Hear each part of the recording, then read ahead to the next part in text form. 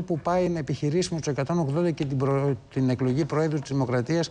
Είναι παράλογο το Σύνταγμα που μιλάει για συνενέσεις για την λοιπόν εκλογή Προέδρου. Ότι όταν παραδείγματος χάρη πριν από ένα μήνα έχουμε μια συστολή των δυνάμεων, δηλαδή μείωση 11%, δεν μπορεί να κάνει διαστολή μέσα στο κοινοβούλιο, δηλαδή να ανατραπεί. Είχαμε εθνικές εκλογές. Ένα τελευταίο ερώτημα στα 20 αυτή... δεύτερα που μας έχουν απομείνει. Κύριε Πουλάκη, αν την επομένη, γιατί πραγματικά αυτό αφορά τον Έλληνα πολίτη, αν την επομένη λοιπόν του νομοσχεδίου και εφόσον αυτό ψηφιστεί και περάσει, οι συνδικαλιστέ κατεβάσουν τους διακόπτες. Ο ΣΥΡΙΖΑ πού θα είναι, υπέρ ή κατά; Εφού είμαστε αντίθετοι να περάσει από αυτό το νομοσχέδιο, δεν θα είμαστε μαζί με τον αγώνα τον οποίο κάνουν οι εργαζόμενοι, αν είναι δυνατόν. Σας ευχαριστώ θερμά και τους δύο, κύριε Κοντογιώργη.